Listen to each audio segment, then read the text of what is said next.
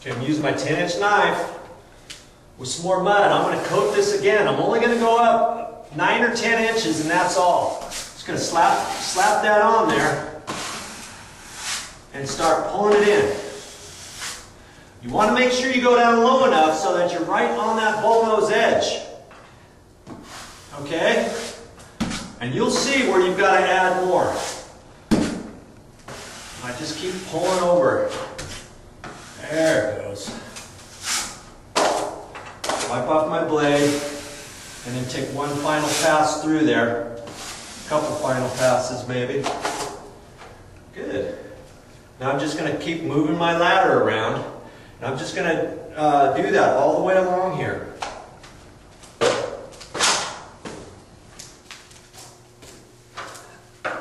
Since I'm here, I'll finish this off so you can see.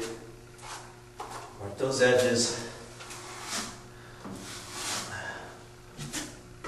There we go. Okay, so I'm over here. I got it down on the bull nose. And I go up. More pressure at the top. And blend it in. I got to kind of pull tighter as I go this way and push it towards the wall as I come here because I want to blend it in. Now that looks pretty good. I'm not really going to touch much more than that. Then we're going to let this dry and sand this. Oh, that's going to look nice.